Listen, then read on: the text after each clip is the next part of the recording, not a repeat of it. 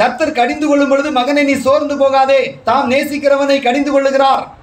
சாத்தானவே கர்த்தர் கடிந்து கொள்ளுகிறார். இப்போ உங்க மேல இருக்கக்கூடிய அழுக்கு வஸ்திரத்தை கர்த்தர் உங்களை அப்படியே விட மாட்டாரு சபைக்கு நீ துக்கத்தோடு வந்திருக்கலாம். கடன் பாரத்தோடு வந்திருக்கலாம். எப்படிப்பட்ட கஷ்டத்தையும் மாற்றக்கூடிய தெய்வத்தை நீ ஆராதிக்கிறாய். அல்லேலூயா. என் நாமத்தினாலே நீங்கள் எதை கேட்டாலும் நான் அதை உங்களுக்கு என்ன செய்வேன்? தருவேன். நீங்களே என்னுடைய சாட்சிகள். உங்கள் ஜெபத்தை நான் கேட்கிறேன். உங்களோடு நான் வாசம் பண்ணுகிறேன். உங்களை நான் பலப்படுத்துகிறேன். உங்களை நான் வழி நடத்துகிறேன். உங்களை நான் உயிர்ப்பிக்கிறேன். உங்களை நான் பிரகாசிப்பிக்க பண்ணுகிறேன். எவ்வளவு ஒரு அற்புதம். அலையலுயா. ஏங்க இவன் யார்? பிரதான ஆசாரியன். ட்ரெஸ் எப்படி ஆயிப்போச்சு ட்ரெஸ் எப்படி ஆயிப்போச்சு நீங்கள் இந்த சபைக்கு வந்திருக்கக்கூடிய நீங்கள் பிரதான ஆசாரியனாகிய யோசுவாவை சொல்லுவது போல குமரேசனுடைய வஸ்திரம் அழுக்கு வஸ்திரம் என்று சொன்னால் தேவன் அந்த வஸ்திரத்தை மாற்ற வல்லவராக இருக்கிறார். வசனாமா உண்மையா? உண்மையா ஜான்சன் அவர்களே? நம்முடைய வஸ்திரத்தை மாற்ற யாரால முடியும்? நிந்தை கேவலம் அவமானம் பாவம் என்கிற வஸ்திரத்தை மாற்ற இயேசுவால் முடியும். அல்லேலூயா. இயேசுவை சிலுவையிலே அறைந்தவர்கள் இயேசுவின் வஸ்திரத்தை சீட்டு போட்டு பங்கிட்டு கொண்டார்கள். காரணம் என்ன? கொலைகாரர்களுக்கு கூட தன்னுடைய வஸ்திரத்தை கொடுத்தார். நீதியின் வஸ்திரத்தை கொடுத்தார். அப்போ உனக்கு வியாதி ஒரு வஸ்திரமாக இருக்கிறதா? துக்கம் ஒரு வஸ்திரமாக இருக்கிறதா? அவமானம் ஒரு வஸ்திரமாக இருக்கிறதா? மொத்த வஸ்திரத்தையும் அழுக்கு வஸ்திரத்தை மாற்றி கர்த்தர் உனக்கு நீதியின் வஸ்திரத்தை தருகிறார். அல்லேலூயா! அது என்ன வஸ்திரம்? வேதம் சொல்லுகிறது உனக்கு சிறந்த வஸ்திரங்களை நான் தரிப்பித்தேன். அல்லேலூயா! நம்முடைய ஆண்டவருங்க கெட்ட குமாரன் வந்த பொழுது தகப்ப என்ன செய்தான் அதே ட்ரெஸ்ஸோட போய் சாப்பிடுனா சொன்னா? சிறந்த வஸ்திரங்களை கொடுத்தான். அல்லேலூயா அல்லேலூயா சிறந்த வஸ்திரம். ஏங்க நல்லா கேட்டுக்கங்க இப்போ முடிஞ்சிடும் யோசிப்பு இருக்காரு தெரியுமாங்க? அவங்க அப்பா அவருக்கு என்ன வஸ்திரம் கொடுத்தாரு? பல வருண அங்கி. எல்லா கலரும் அதில் இருந்துச்சு. எல்லா கலரும் இருந்துச்சு. அண்ணன் தம்பி பார்த்த என்ன சொன்னாங்க? இவனுக்கு என்ன ட்ரெஸ்ஸு இவனுக்கு என்ன சிறப்பு? இவனுக்கு என்ன புகழ் மரியாதை? இவனை கொன்று ஒழிக்க வேண்டும். ஆனால் புத்தி உள்ள ஒரு மனுஷன் இருந்தா என்ன சொல்லுவான்? வசந்தாமா புத்தி உள்ள ஒரு மனுஷன் இருந்தால் என்ன சொல்லுவான் தெரியுமா? நான் யோசேப்புக்கு சகோதரனா இருந்தா என்ன சொல்லியிருப்பேன் தெரியுமா? பச்சை சிகப்பு நீலம் எல்லாம் இருக்கும்போது தம்பி நீ தான் பச்சை கலரு நான் தான் நீல கலரு நான் அந்த நம்ம எல்லாரையும் சேர்த்து நம்ம சகோதரன் உடுத்திருக்கான் பாரு. ஒற்றுமை வந்திருக்குமா? இப்படி பேசுனா? இப்படி பேசக்கூடியவர்களைத்தான் இயேசு விரும்புகிறார். புரியுதா? நம்ம எல்லாத்தையும் வஸ்திரமா நம்ம தம்பி என்ன செஞ்சிருக்கான்? ஆனால் யோசேப்பினுடைய வஸ்திரத்தை கலத்தி அவனை அடிமையை போல குழியில தள்ளி கொல்ல பார்த்தார்கள். சகோதரர்கள் கொடுத்தது உரிந்தது ஆடையை கொடுத்தது நிர்வாணம் தூக்கி போட்டது குழி வித்தது அடிமை. போ அதில் ஒரே ஒரு விஷயம் நான் சொல்லட்டுமா? நல்லா கேட்டுக்கங்க எல்லாரும். ஒரே ஒரு விஷயம் சொல்லுதேன். அடிமையாக விற்று போகும் பொழுது துணி இல்லாமல் அழுதுகிட்டே போகிறான் அண்ணா என்னை வித்துட்டீங்களாண்ணா என்னை இப்படி காப்பாத்துங்கண்ணா நான் அப்படியே போயிருந்தேன். நான் உங்கள் முகத்தில் முடிக்க மாட்டேன். என்ன போய் குழைச்சிக்கிடுதேன் அப்படின்னு சொல்லி அழுது கொண்டே போகிறான். அவமானத்தோடு போகிறான். நம்முடைய சப்பாவும் சிலுவையை சுமந்து கொண்டு நன்மைகளை செய்த மக்கள் முன்னிலையிலே கைவிடப்பட்ட தெய்வமாக அழுது கொண்டே போனார். வேதனையோடு போனார். நல்ல புரியுதா உங்களுக்கு? யோசேப்பு போனது மாதிரி தான் இயேசு போனாரு. ஆண்டவர் என்ன சார்? பிதாவை ஏன் என்னை? யோசேப்பு இப்போது எப்படி ஜெபித்திருப்பார்? ஆண்டவரே என்னை நீர் என்ன செஞ்சிட்டீரு குழியில தூக்கி போட்டு என்னை கைவிட்டுட்டீரு. அடிமையா வித்துட்டாங்க. அண்ணன் தம்பி வெறுத்துட்டாங்க. குடும்பம் இல்லை கோத்திரம் இல்லை சமாதானம் இல்லை ட்ரெஸ் இல்லை ஒண்ணு இல்லை. ஏன் என்னை? ஆனால் காலங்கள் கர்த்தருடைய கரத்தில் இருக்கிறது. ஏங்க கடலும் ஆண்டருடைய கையில தான் இருக்கிறது. இன்னொன்னு தெரியுமா? நரகமும் ஆண்டருடைய கையில் தான் இருக்கு. பாதாளமும் கர்த்தருடைய கையில் தான் இருக்கு. எப்படி? இயேசு மரித்து தன்னுடைய ஆவியிலே போய் நோவாவின் காலத்தில் உள்ளவர்களுக்கு என்ன செய்தாரு? அங்கேயும் போய் ஒரு கலை கலக்குனார் பாருங்க. பிரசங்கம் பண்ணார் பாருங்க. ஜெப கூட்டம் நடத்தினார் பாருங்க. சந்தோஷத்தை கொடுத்தாரு பாருங்க. எத்தனை பேர் மனம் திரும்பினா நமக்கு தெரியாது. புரியுதா? காரணம் என்ன? சகலத்தையும் மனுஷனால் கூடாதது. செவ்வாய் கிரகத்துக்கு வெண்கலத்தை அனுப்பலாம். பாதாளத்தில் போய் பிரசங்கம் பண்ண இயேசுவால மட்டும்தான் முடியும். பாவிகளை ரட்சிக்க இயேசுவால மட்டும்தான் முடியும். சந்தோஷத்தை கொடுக்க இயேசுவால மட்டும்தான் முடியும். ஜெபத்தை கேட்க இயேசுவால மட்டும்தான் முடியும். நம்ம எங்கனாலும் போன் போட்டு பேசலாம். ஆனா உதவி கத்தரால மட்டும்தான் செய்ய முடியும். அல்லேலூயா! அப்படிப்பட்ட தெய்வம் நம்மோடு கூட இருக்கிறான். இப்ப அங்க போய் நன்மை செஞ்சான். போத்திபாருடைய வீட்டில் உண்மையா இருந்தான். கீழே கிடந்த துட்டை எடுத்து கையில கொடுத்தான். தங்க செயின் எடுத்து கையில கொடுத்தான். வேலைக்காரங்களை ஒழுங்கா ஏவனான். கிடைச்ச பரிசு என்ன? வஸ்திரத்தை. அவனை சட்டையை பிடிச்சான். என் கூட சந்தோஷமா இருந்தான் கர்த்தர் இருக்கிறான்னு சொல்லிட்டு ஓடினான். அவன் மேல குற்றம் சாட்டி சிறையிருப்பின் வஸ்திரத்தை கொடுத்து எங்க தள்ளிட்டாங்க? செயல தள்ளிட்டான். சகோதரர்கள் வஸ்திரத்தை உறிஞ்சான் மத்தவன் வஸ்திரத்தை ஜெயில்ல உள்ள வஸ்திரமா மாத்திட்டான். ஆனால் கர்த்தர் என்ன செஞ்சாரு? ஆதியாகமம் நாற்பத்தி ஒன்னு நாற்பத்தி ரெண்டு. சீக்கிரம்.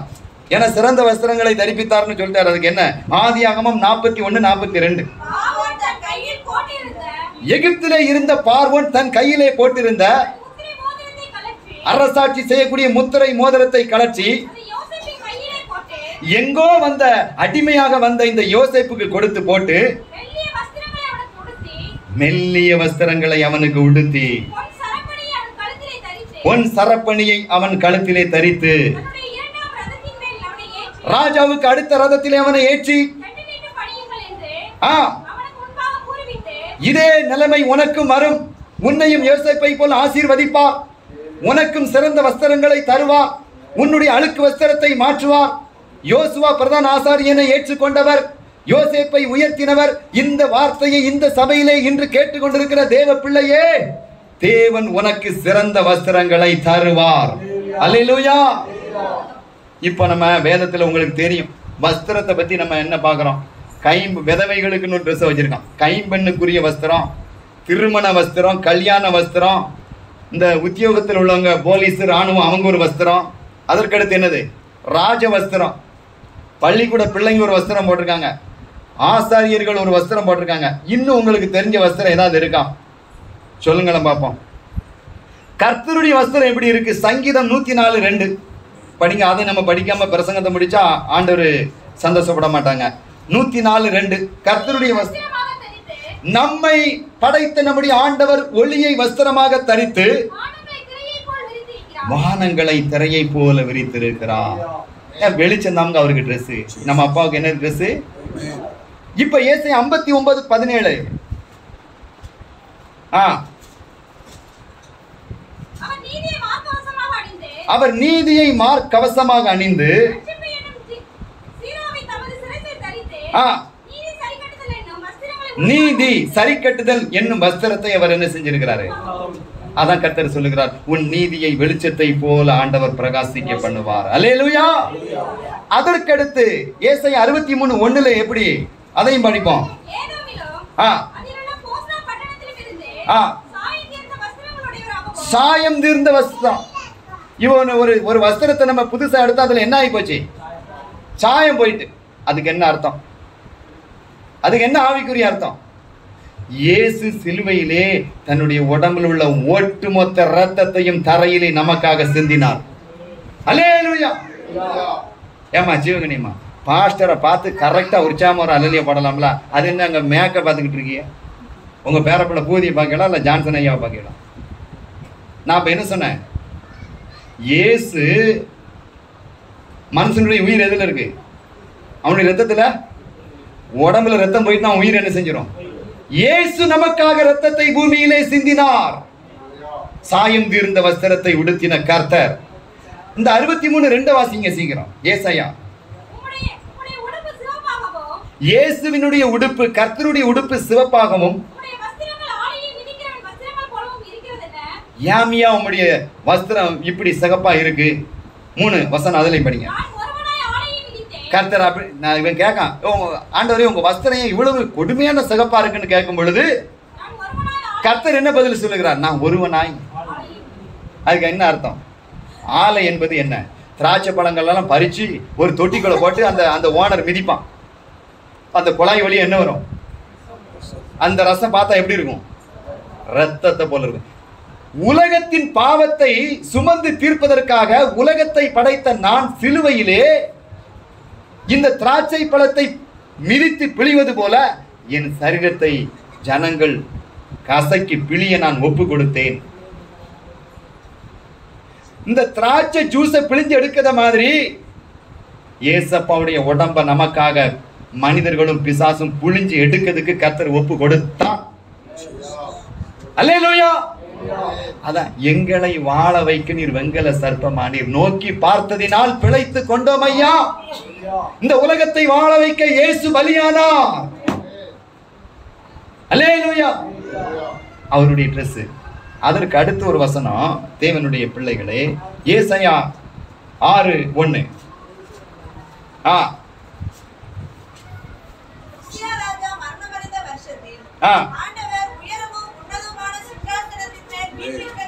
ஆ. அவருடைய வஸ்திர தொங்கலால் தேவாலயம் ஏன் ஏங்க இந்த ஒளியின் வஸ்திரத்தை தரித்திருக்கக்கூடிய தேவனாகிய கர்த்தரால் தேவாலயம் நிறைந்திருக்கிறது.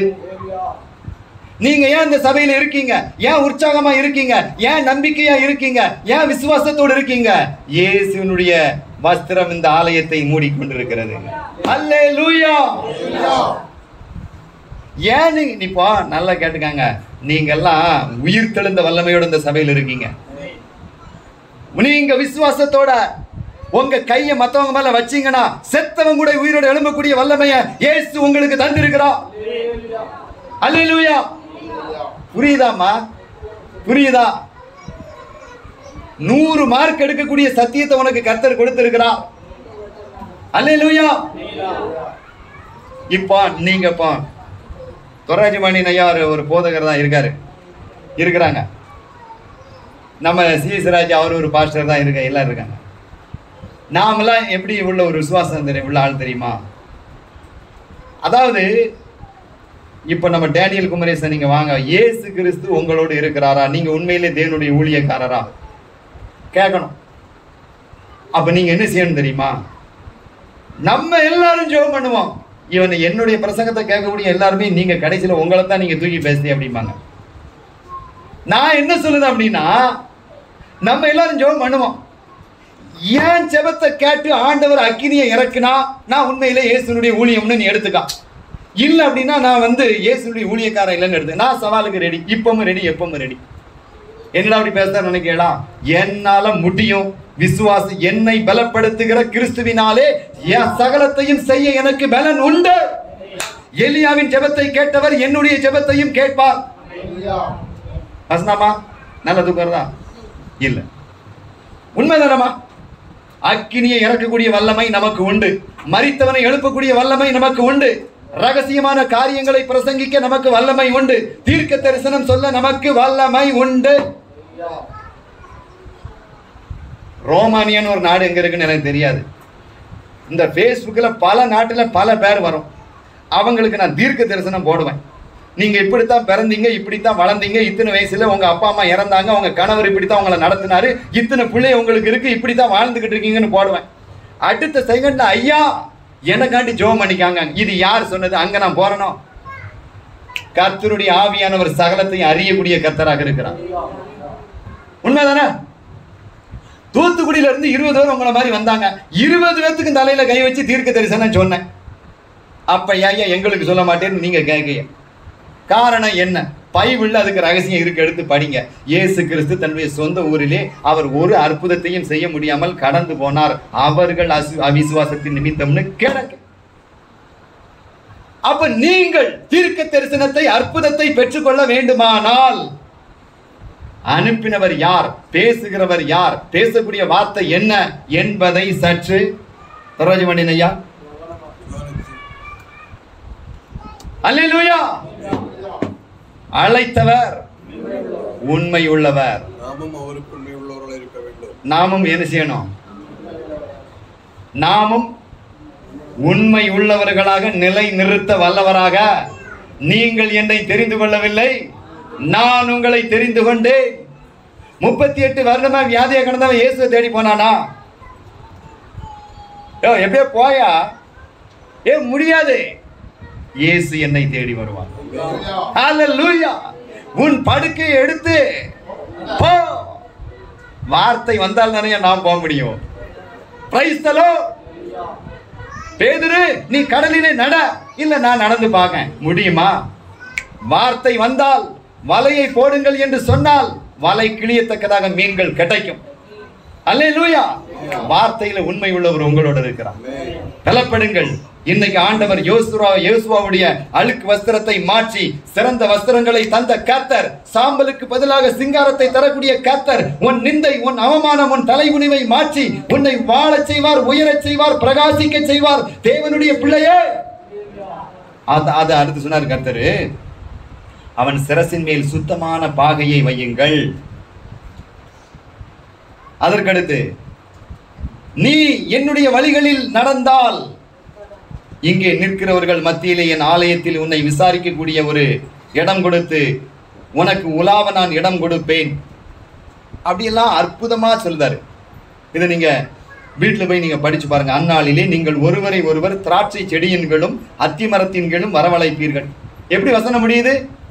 சக்கரியா மூணு பத்து எப்படி முடியுது? படிங்கம்மா. அந்நாளிலே நீங்கள் ஒருவரை ஒருவரை ஆ. ஆமா சேனைகளின் கர்த்தர் என்ன சொல்லுகிறார்? ஆ. வரவழைப்பீர்கள் அது என்னையாருன்னா சபைக்குள்ள நம்ம எல்லாரும் ஒண்ணா கூடி சந்தோஷமா இருக்கிறத பத்தி இந்த வசனம் சொல்லுது. அல்லையா அப்ப நம்ம என்ன படிச்சோம்? அப்படியே நம்ம அலங்கார வஸ்திரம் ரட்சிப்பின் வஸ்திரம் தீட்டுப்பட்ட வஸ்திரம் ஆடம்பர வஸ்திரம் வினோத வஸ்திரம் விலையேறப்பட்ட வஸ்திரம். ஸ்திரீகளை பத்தி கர்த்தர் என்ன சொன்னார்? பொன்னினாலும் வெள்ளியினாலும் அல்ல விலையேறப்பட்ட வஸ் பொன்னினாலும் அல்ல. ஒன்னு தீமத்தை ரெண்டு ஒன்பதுல என்ன சொன்னாரு? பெண்கள் எப்படி இருக்கணுமா? ஒன்னு தீமத்தை ரெண்டு ஒன்பது.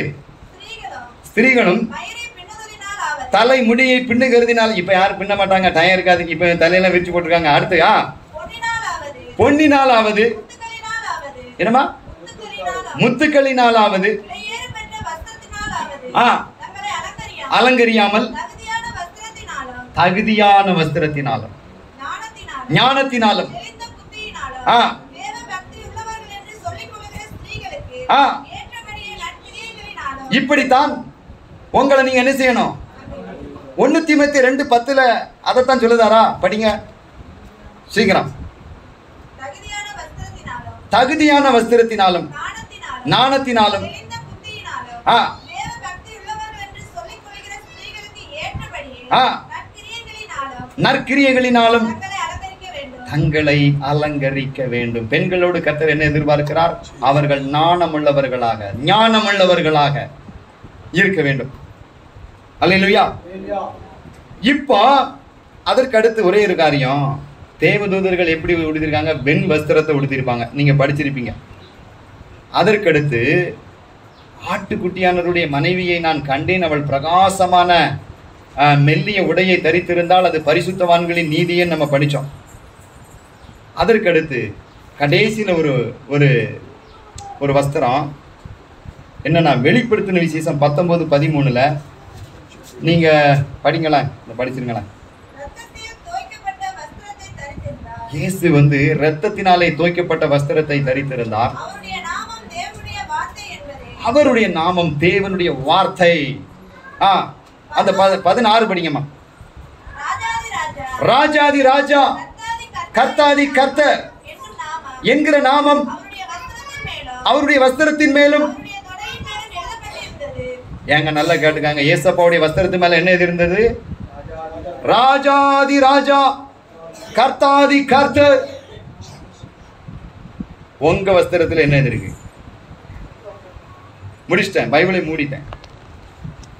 இயேசு கிறிஸ்துவின் விலையேறப்பட்ட குற்றமில்லாத ஆட்டுக்குட்டியின் ரத்தத்தினால் மீட்கப்பட்டவன். இவன் மீட்கப்பட்டவன்.